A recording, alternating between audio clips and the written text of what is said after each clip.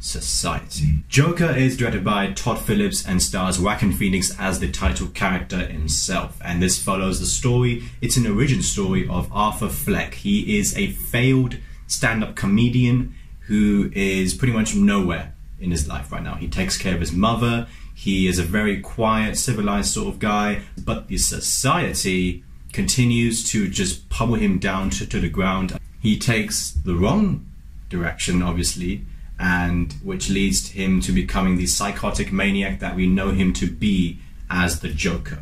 Of course, there are no spoilers in this video. You are safe with me. Do not worry. Sit back, relax. It's okay. After this, after I give my grade for this film, of course, I'll be talking about a few things that I want to get off my chest um, regarding the controversy and the reception that this film is receiving probably for the wrong reasons. This film is receiving a lot of attention, but for the wrong reasons, in my opinion. We will talk about that very much later. I had absolutely high expectations for this film. Uh, a lot of a lot was riding for me. I was very excited. I loved the first teaser. I thought it was absolutely brilliant. It did not give much away, and I got to tell you, this film did not disappoint me, not one bit this is a work of art, in my opinion. I think I think it's a masterpiece. I really do think it's a masterpiece. I thought a lot. I thought a lot about this. It is definitely up there as being maybe regarded as a film of the year. Joker is absolutely astounding as a film. It is a massive achievement, and Todd Phillips directs the hell out of this film. It's brilliant in every way possible. I could not keep my eyes off the screen not one bit. I was immersed into the film entirely. It was a roller coaster of, of emotions. It was a thrill ride.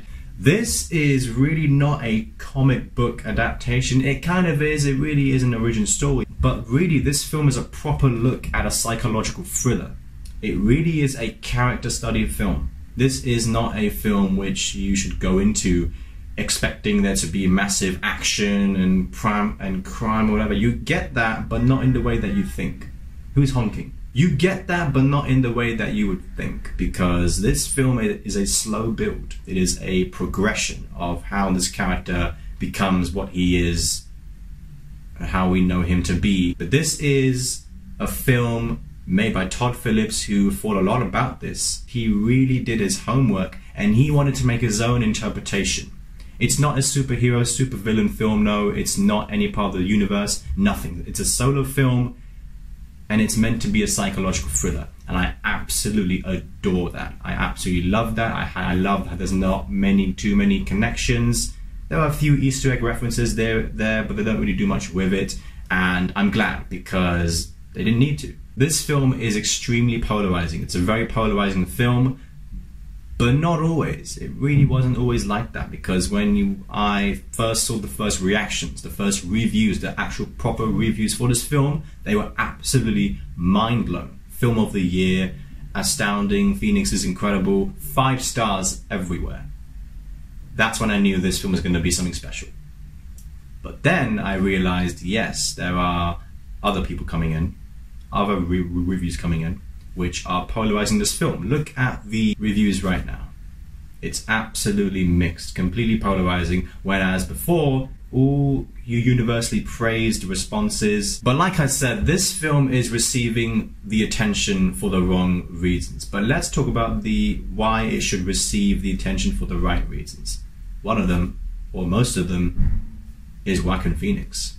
This guy is a master in acting. He is proven it. He's proven it time and time again. This is the film for him. This is going to get him the Academy Award for Best Actor, in my opinion. There is absolutely no point in comparing Heath Ledger and Joaquin Phoenix because they are completely different characters, in my humble opinion. Different universes, different timelines, different phases in their in their character's life. This is an origin story. It's solely directed at the Joker. The Dark Knight Joker is already Joker. He is going toe to toe with Batman, different phases. I really do honestly think that Phoenix pays homage in some sort of way to Heath Ledger. There are some little nitpicky little stuff in there in terms of his character, which reminds me of Heath Ledger and the way he was. and I just really it gave me a little bit of a chuckle, it gave me a little bit of a smile. This really is a character study. This really is a transformation of this character and how he has become the villain that we will know him to be. But at the same time, you just feel all these emotions from start to finish when you feel like you want to sympathize for him, you want to feel sorry for the guy. And whereas when he becomes the Joker, not so much.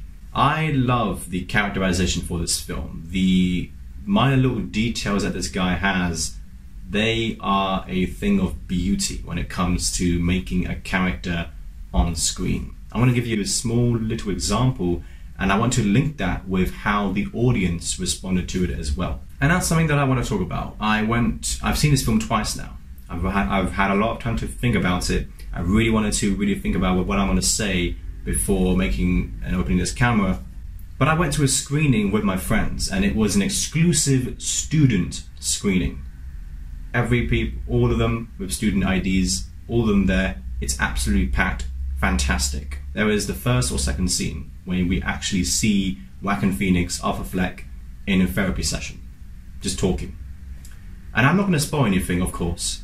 And obviously, he is expressing some sort of emotion. And I was so shocked with the minor detail that they use to further progress this character's mental illness. They use it in such, such a genius way, and nobody had that idea. Nobody actually saw that coming in that first scene. That's when you realize it further down the film. But everyone during that scene, everybody people around me, people behind me were making fun of what was going on in the screen, of how this person was portraying a certain emotion. And people were making fun of him, mocking him, portraying him, impersonating him. And I was sitting there and I was obviously very annoyed because I, first of all, heaven.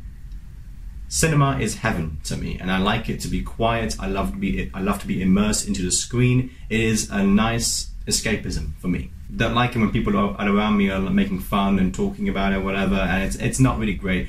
But I found that really interesting, and at the same time, when it comes to a film like this, and what I'm trying to say, I didn't really mind it because I knew what was going to happen later on, and basically every person in that theater after that scene, especially, just shut up. No more making fun of, no more impersonating, nothing no more, because they understood what was going on. And I absolutely love that because that was the only scene that the people were actually making fun and just laughing or whatever. But after that, dead silent. They are all focused in the film. And I really think that they did this on purpose, the filmmakers, and I think it is a work of brilliance the work of beauty. So that's my point, really, and um, I want to talk about that much more if I ever do make a spoiler video because it was it was really really interesting. I just really found that really fascinating. There are so many iconic scenes in this film that I just I obviously I'm not going to say anything, but I would say one thing is the last 20 minutes of this film is one of the greatest cinematic moments in history the soundtrack, the score especially, my goodness, I felt every little instrument that was going on in the background. I felt it. It really just it took me in. I absorbed it all, and I went home and I just listened to the score. It is a fantastic one. There are supporting characters as well, but I feel like there's not much point talking about them because this film is all riding on Phoenix's shoulders. He carries this entire film. But if we're gonna, let's talk about Robert De Niro. He is a late night host. He plays a late night host in this film. He does his job absolutely fine. He he he he talks and he dresses obviously, and he just acts like a host, like like Jimmy Fallon or Kimmel or Stephen Colbert, and it really is. He really does a great job. I really do see him as a late night host sort of guy, and he does a great job. The ending of this film, obviously, no spoilers, but I feel like it is a great way to open more interpretation. I thought it was a great thing. It was absolutely fantastic, but I feel like they could have ended it at a specific moment when a certain character just has this massive space, has this massive pause when he says something, I feel like it should have just gone black screen just then.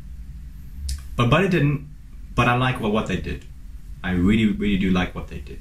Just my personal preference. This film is a masterpiece. It really, really is. And I feel like this film is going to be talked about for the next few few years to come. I'm gonna give Joker an A plus. So let's talk about the um, controversy that is surrounding this entire film. People are under the impression that this film is a very dangerous one. It, it is terrifying. You should not be watching it. It's too realistic. What's going on? There are going to be more Jokers in, in this entire society. Where is this coming from? And how long have we been talking about this? It's been over, what, 40, 50 years now? People are still under the impression to solely blame art. Art like games, films. This film is a work of art. Beautifully disturbing, it is terrifying. Yes, it has a lot of realism to it as well. It doesn't mean it's it doesn't mean it's a dangerous film. I just think that it is a massive movement that is going on for the past 40, 50 years, but it's not all solely relied on dangerous video games and films that portray all this. It's not all that, and it's not the, it's not the reason. This has been going on for so long. I'm not sure if you guys have heard of Taxi Driver and Mean Streets and a show like Breaking Bad and films like Deadpool who take a light, humorous tone but it's a very dark one at the same time, and it's very, very bloody and violent. There are so many more films that are more violent than, than this one. And this film is violent, yes. It's brutal. But it's meant to be that. it's supposed to be that. It's a psychological thriller. If you are saying that this film is a dangerous film and you are saying that it is terrifying, you're only praising this film. You are saying that this film is so well done that you actually are under the impression of keeping all your people away from this film. I really do think that Joker is a cinematic masterpiece, and I think it's a danger to society if you don't watch it. That's just my opinion. It's a film. It's it's supposed to make you feel a certain way. That's its job, and it's done its thing.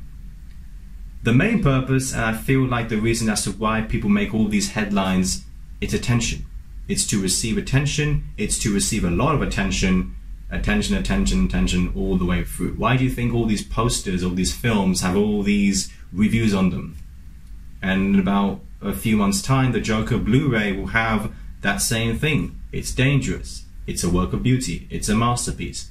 Very, very dangerous. It has all these it has all these reviews with all these descriptive words because of this reason. It, it, it sparks a lot of attention, and that's exactly what's been happening out of this film. What do you guys think about this film? Your thoughts down below. I can't stop thinking about it. Thank you for watching. Look forward to some more reviews on the way. I'm very excited to talk about El Camino, Breaking Bad film coming very, very soon. Thank you for watching.